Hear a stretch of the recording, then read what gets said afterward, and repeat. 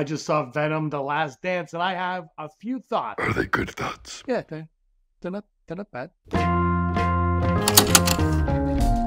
Hey everyone, this is Digital Charcuterie. Thanks for stopping by and shout out to all of our new subscribers. Thank you so much for your support. And if you're new to this channel, check out the subscribe button and uh, don't forget to like the video. And if you like Venom, I want to know your thoughts on Venom: The Last Dance in the comments down below. Let me know, chat. I love hearing from you. I read and reply to all the comments. How fast do you think you can get that thing to go without killing it? Only one way to find out.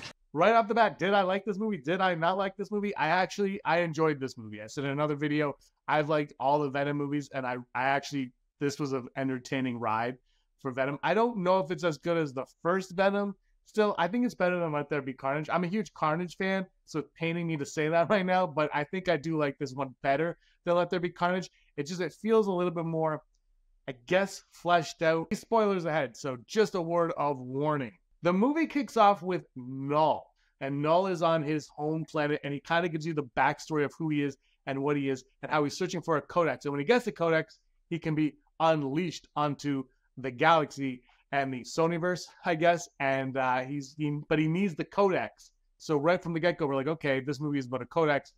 Who, what, where, when, how is this codex? And clearly, the answer comes when we get to the real beginning.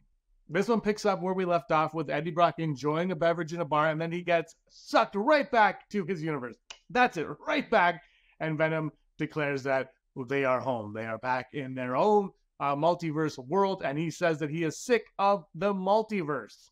As they leave the bar, Venom decides to throw a tip over to the bartender, leaving a little piece of himself behind. We're going to get back to that a little bit later, but outside you see a news report and that Detective Mulligan is dead, and Eddie Brock is wanted for that murder, so he is a fugitive, as Venom lets him know. And that's where I'm going to stop right there and just say that the relationship between Eddie and Venom has always been fantastic in these movies. And in this one, they ramp it up a notch. They dial it up a notch. It is fantastic. The the dynamic between Venom and Eddie Brock is spot on. It'll make you laugh. It'll make you smile, and it's worth the. Honestly, I thought it was worth the price of admission just to watch their dynamic and their relationship grow throughout this. They're best buds, but it's also kind of like a psycho relationship. It's a lot of fun, and I think if they made just one more movie where they just did that, there was no action, I think even that would be entertaining. But the action actually isn't so bad in this one. The action picks up right after this, actually. Venom needs some food, so they go in and there's some caged dogs, which is never a good thing. They go in, and a little gang comes over and starts to, starts to harass Eddie. And Eddie's like, "You don't want to do this," and he goes, "Oh, I do want to do this." And he's like, "Ah," and the, and the one gang leader says, "I have a demon in me," or to some effect, or to something like that. And and Eddie says, "Not like me." And that is when a massive, fun, a really fun fight ensues between the gang and and Eddie Venom. Say when. When? And at the end, Eddie loses his shoe. A dog eats his shoe in half, and Venom decides to give him cowboy boots. For what purpose? I guess it's just a gag because he drops them two seconds later when they're on the plane. They decide that they're going to go to New York, that they're going to restart their life in New York. They have some black, they can blackmail someone over there so they can go live in New York. Eddie Brock makes a reference about how now he knows a superhero that doesn't know how to fly. He's the one that knows a superhero that doesn't know how to fly. And Venom says, "Oh, I can fly," and that's when we get the part from the trailer where you see them on the side, outside side of an aircraft, uh, and it's great. But then but then the alien demon tracks them down. Null has unleashed xenophages all over, and one of them has tracked down Venom and Eddie. And when they're on the plane, the xenophage finds Venom and Eddie. They have to take off off of the plane. The monster gets eaten up by an engine. Eddie and Venom, Eddie and Venom land in the desert. They're in no man's land. They're in the middle of nowhere, and that is when Venom clues him in on who Null is, what Null is all about, and how they are the codex because Eddie died and their life forces merged, creating this codex. And with that, Null can escape his, his planet, his prison planet, and take over the world. And that's a bad thing. So now we know from this point on in the movie, Venom has to stay hidden within Eddie Brock, which makes the dynamic even funnier. It makes the I well, sometimes you're like, wow, I kind of wish wanted to see Venom do some fighting. You get that. You get that enough. It's a very short movie. It's only like an hour and a half. I think hour and forty with credits somewhere or somewhere around there. It's very short, but it's fun. It never stops being fun. It's a good ride from beginning to end. Ah, Okay, no, that's a lie. There's a few things there, he encounters a family in Nevada, and the first scene with the family is actually quite funny. I was like, oh, this is entertaining, uh, an entertaining piece. And then they have a they he joins them on the car, and they're on like this road trip, and you're like, okay, this is fun, and still a couple laughs in there, and you're like, okay, fine. But you don't know where they're going, and you're worried in the back of your mind. You're like, I think this is where they're going, but I really hope they don't play that card. Then they go their separate ways. But Rhys Ifans is playing the dad in this family, and I'm like, eh, he's gonna come back. The family is all about they're on a road trip to Area 51. It's being decommissioned, and they're actually the new Area 51 is Area 55, which is a hundred feet sub level that cannot be detected by humans or aliens. And this is when we see Detective Mulligan once again and his form toxin, and he is told, we are told through him that Null is around and that Eddie and Venom are the Codex. This is when we are told that Null is around. He has found them. They cannot be found. He doesn't know that the Codex is out there at this point yet. He will kill us all. But he knows that Null is looking for the Codex. And this is when the fun begins. They need to get to New York and they need to get there fast. So Venom decides, you know what I'm going to do? I'm going to take over possession of this horse. And he becomes a horse. And it's a really funny gag. You've probably seen it. It's in like the trailers and stuff. But he takes over the horse and they run and they jump and they fly. And you're like, this is fun. And again, it's the buddy cop. It's the it's the the buddy road trip movie that you're watching. You're like, this is a lot of fun. I want to see more of this. But then the soldiers catch up to them, and then Venom has to separate from Eddie. And either we see fish venom, we see frog venom. We basically see the Super Mario Brothers of Venom. And this moment, Eddie and his soldier have a confrontation under the water. She pulls out her gun on him. He kind of fights with her, fights with her, pulls the gun back, and she ends up shooting herself, or he kind of shoots her. And the guilt, the guilt rids him the entire movie. He's filled with guilt through the entire movie, beginning to end, basically. But he mentioned this a few times, and he can't believe that he did this. He's not a murderer. That's not who Eddie Brock is. But now you see it, and it's a really, it's kind of like they kind of play it up as a harsh moment. Like it's pretty emotional, where he's just staring at her, and you see the blood slowly come off of her in the water and the dead body just kind of floats away. But then, of course, you know, the movie, we got to keep going. We're an hour and a half. There's a waterfall. So another soldier is coming to him, and there's a waterfall. And oh my gosh, Eddie Brock is going to get killed going over the waterfall. Frog Venom's like, not on my watch, pal. Jumps out of frog form, heads over to Eddie. And Eddie's like, What are you doing? Null's going to find us. And he goes, I can't let you die, Eddie. They go over the waterfall. Venom takes over his body, kills three soldiers. Eddie and Venom escape.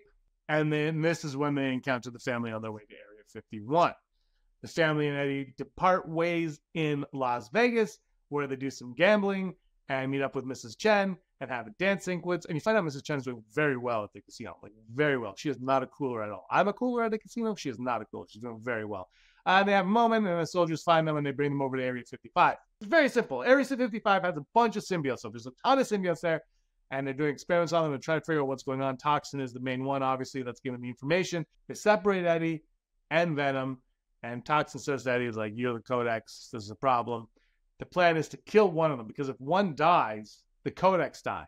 That's the ultimate plan. Some of the scientists are like, you can't do that. The soldiers like, we have to do this. So there's that. That's the big feud going on right there. And this is the Area 51 stuff. It's kind of all over the place it's really fun, but it's this is when it be, turns into a spectacle. This is the spectacle. And the one thing I really didn't care much for was when the family kind of showed up because of course there has to be a heroic moment with the family which is whatever, and Eddie has to save them. My thing was it was paint by numbers, and they kind of I it felt a little bit like they were forced into it. Like I know like they say the whole time they're going to Area 51. I get it because they're decommissioning it, which is I just felt that part felt a little bit forced. It didn't take me out of the movie. Like there's been other instances in other movies where they've done things like that. It didn't take me out, and there wasn't a lot of emphasis so much on the kids either, because usually you have kids in movies like put the put the kids in peril. Then people will really really feel emotional connection to it and the strike fears. Like no doesn't always work like that. It's usually cheesy to me.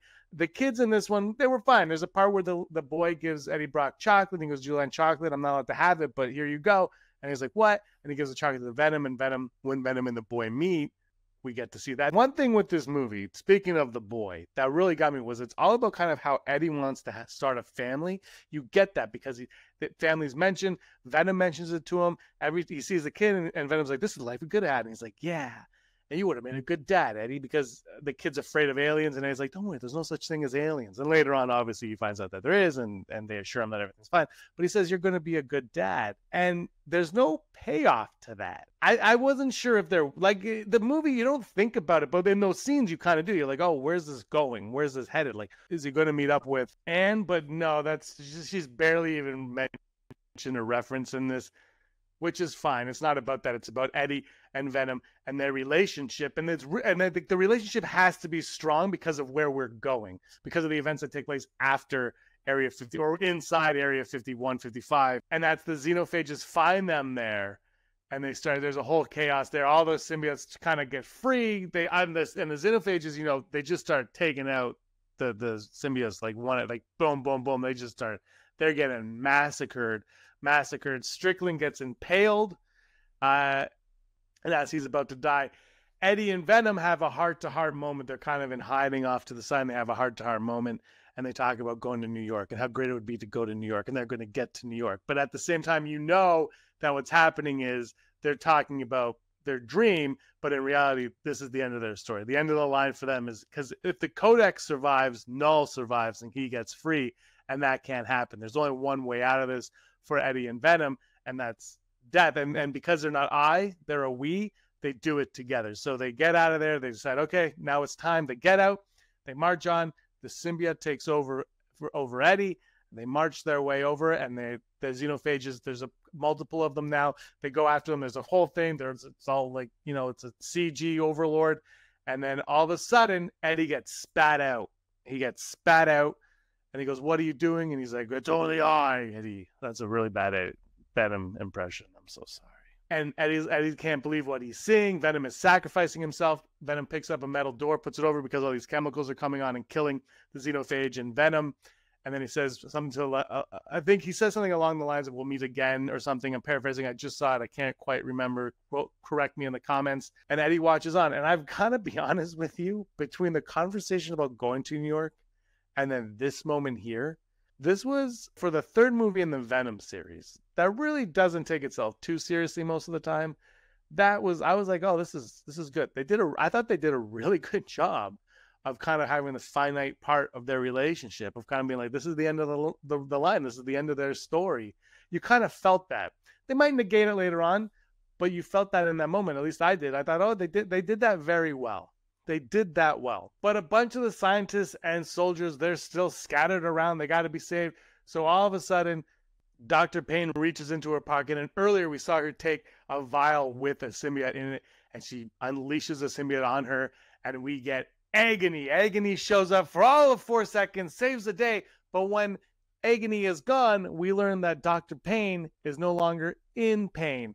Let's rewind, shall we? Earlier in the movie, when we're first introduced to Dr. Paine, she is asleep in her bed, as we all do. And as we all do, she dreams about her origin story, as we all do, like I said. In this origin story, her and her twin brother are outside on a beach. Normal at night. Normal for kids to be on the beach at night. They say some stuff about he's going to be a scientist, a NASA or something like that, or NASA scientist, and she's just his twin sister. And they see the lightning and they say, head north, and they run and they get struck by lightning. Well, he gets struck by lightning. They're holding hands, and she gets like her her arm gets kind of destroyed, and she gets like these lines all up her, and she really can't use her arm for all these years since then.